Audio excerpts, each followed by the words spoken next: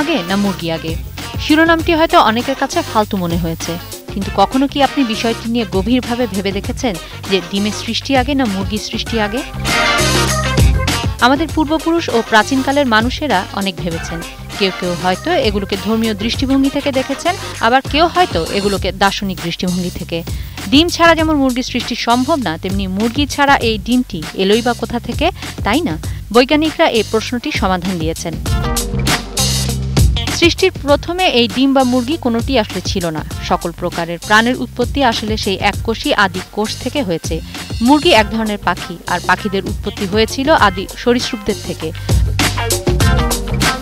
লক্ষ্য করে দেখবেন, সরীসৃপরা পাখিদের মতো ডিম পারে এবং ডিম ফুটে বাচ্চা হয়। প্রথম মুরগির উৎপত্তিটি আসলে কোনো মুরগির ডিম থেকে হয়নি। কোনো সরীসৃপের ডিমে ঘটে যাওয়া আচমকা মিউটেশন বা হঠাৎ জিনগত রদবদলের ফলে সৃষ্টি হয়েছিল আদিম পাখিদের। আর সেই প্রাগৈতিহাসিক পাখিদের মধ্যে থেকে পুনঃ পুনঃ মিউটেশনের ফলে সৃষ্টি হয়েছে আজকের এই মুরগি। প্রথম যে মুরগি সৃষ্টি হয়েছিল, সেই মুরগির সাথে হয়তো আজকের এই মুরগির অনেক বেশি অমিল।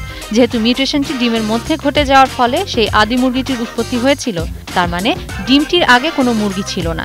তার মানে আমরা বলতে পারি মুরগির আগে ডিম এসেছে, তাই ডিমই আগে আর মুরগি পরে